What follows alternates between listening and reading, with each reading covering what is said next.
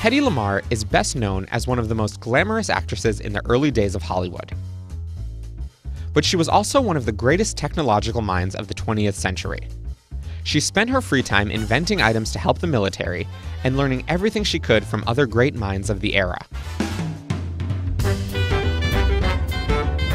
Hedy was born Hedwig Eva Marie Kiesler in Vienna in 1914.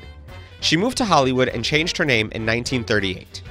Before fleeing Europe, Lamarr left her first husband after attending a dinner party. She went to the event wearing all of her jewelry and slipped out, never to return home. Other versions of the story have her disguising herself as her own maid. Either way, it's pretty cool. That first marriage was to Friedrich Mandl, an arms dealer for Mussolini. Lamarr would sit in on his meetings, making the other attendees think she had no idea about the complicated methodologies they discussed. After learning from her husband's meetings about weapon technology, Lamarr started devising and engineering her own inventions.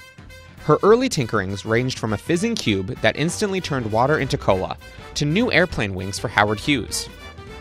Her biggest scientific achievement came during World War II. When she asked to help the troops, she was told to look pretty on a USO tour.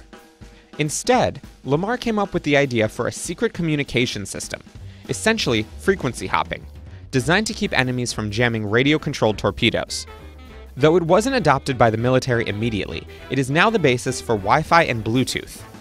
Oh, and she patented this idea in 1942. By the late 1950s, Lamarr retired from film and joined the National Inventors Council. She was once again told she'd be most useful by using her pretty face and celebrity status to raise money. So she sold kisses for $50,000 each and raised $7 million at a single event.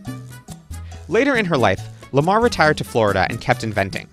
She created a pocket on the inside of a tissue box where you could put your used tissues, and an improved version of a traffic light.